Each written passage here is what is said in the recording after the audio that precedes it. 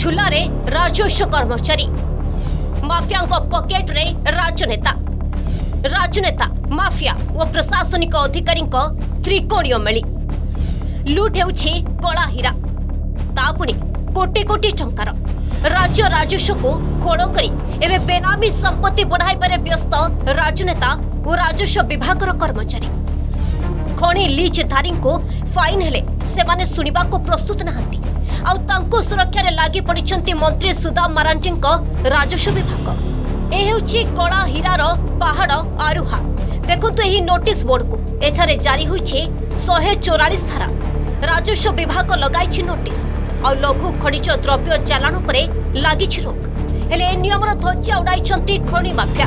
ଖୁଲମ ଖୁଲା ଭାବେ ଲୁଟ୍ କରିଚାଲିଛନ୍ତି ରାଜ୍ୟ ରାଜକୋଷ। ଦିନରେ ତାଲା ଆଉ ରାତିରେ ଖୋଲା। ବିଛା ଖଣ୍ଡି ଡଙ୍କାରି ପରେ ଏବେ ବିବାଦରେ ଆରୁହା ପାହାଡ଼।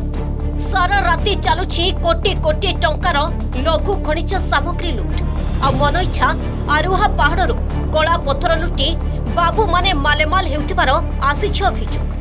দেখুন আজ্ঞা এটি তো তহসিল প্রশাসন কহিলে তহসিলঙ্ মাধ্যমে সবুকিছি পাহাড় এবং হচ্ছে গোড়ি মাটিটু বালি এসবু তাঁর অধীনরে অছি তেমকরি চোরি হচ্ছে সে জাঁপার না কিপর এটা গোটে আশ্চর্যর কথা কিন্তু চোরি হচ্ছে কিন্তু প্রশাসন তাঁর ধরবার দায়িত্ব তেমকরি প্রশাসন আকু দৃঢ় ভাবে নজর রাখতু কলা পথর লুটকু নেই বিবাদরে রাজস্ব মন্ত্রী সীতারাম মারাণ্ডি আর্চার শাসক বিজেডির পাওয়ারফুল বিধায়ক প্রণব বলবন্ত ଓ ଯାଜପୁର ସାଂସଦ ଶର୍ମିଷ୍ଠା ସେଠୀ। ଅଭିଯୋଗ ହେଉଛି ପ୍ରଣବ ଓ ଶର୍ମିଷ୍ଠାଙ୍କ ଛତ୍ର ଛାୟା ତଳେ ରହି ଲିଜ୍ ଧାରି ଚଳାଇଛି ତାର କଳା ସାମ୍ରାଜ୍ୟ। ସୁଦାମ ପ୍ରଣବ ଓ ଶର୍ମିଷ୍ଠାଙ୍କ ବଳରେ ଏବେ ମାତିଛନ୍ତି କଳା ପଥର ଲୁଟ୍ର ମାଫିଆ।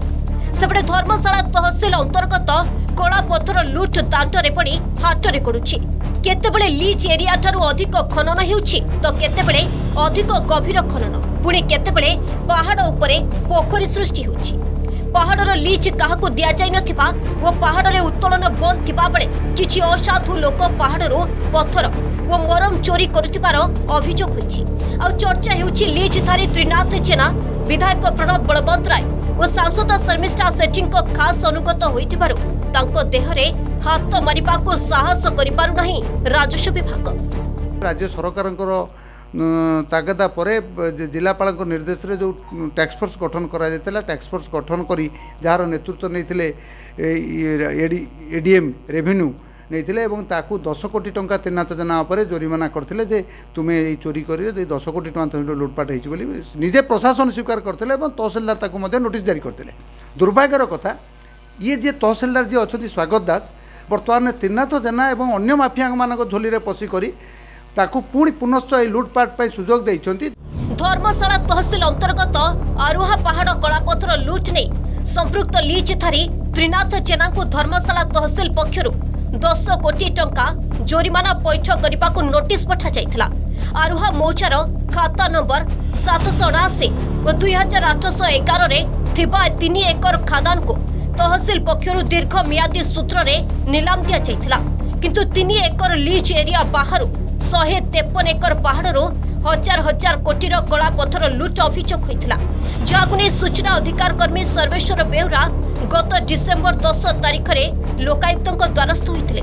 ଲୋକାୟୁକ୍ତଙ୍କ ନିର୍ଦ୍ଦେଶରେ ଚାରିଜଣିଆ ପାହାଡ଼ ଚୋରି ନେଇ ତଦନ୍ତ କରି ଲୋକାୟୁକ୍ତଙ୍କୁ ରିପୋର୍ଟ ଦେଇଥିଲେ। ଏହାପରେ ମାମଲା ଶୁଣାଣି କରି ଲୋକାୟୁକ୍ତ ରାଜସ୍ୱ ମନ୍ତ୍ରୀ ସୁଦାମ ମାରାଣ୍ଡି ଓ ପୂର୍ବତନ ଯାଜପୁର ଜିଲ୍ଲାପାଳ ରଞ୍ଜନ ଦାସଙ୍କ ସହ ଆଠ ଜଣଙ୍କୁ ଲୋକାୟୁକ୍ତଙ୍କ ନିକଟରେ ହାଜର ହେବାକୁ ନିର୍ଦ୍ଦେଶ ଦେଇଥିଲେ। ରାଜ୍ୟ ସରକାରଙ୍କ ନିର୍ଦ୍ଦେଶରେ ଯାଜପୁର ଜିଲ୍ଲାପାଳ ଅନୁମୋଦନରେ ଗୋଟିଏ ଟିମ୍ ଏହାର ତଦନ୍ତ କରି ରିପୋର୍ଟ ପ୍ରଦାନ କରି ସମ୍ପୃକ୍ତ ଲିଜ୍ ଧାରୀଙ୍କୁ ଦଶ କୋଟି ଜୋରିମାନା କରିଛନ୍ତି। ହେଲେ ଏହା ସତ୍ତ୍ୱେ ବି ରାଜସ୍ୱ ବିଭାଗ ଚୁପ୍ ହୋଇ ବସିବା ବଡ଼ ପ୍ରଶ୍ନ ସୃଷ୍ଟି କରିଛି। ବ୍ୟୁରୋ ଇନପୁଟ୍ ସହ ଧର୍ମଶାଳାରୁ ଆନନ୍ଦ ମହାରଣଙ୍କ ରିପୋର୍ଟ ଅର୍ଗସ୍ ନ୍ୟୁଜ୍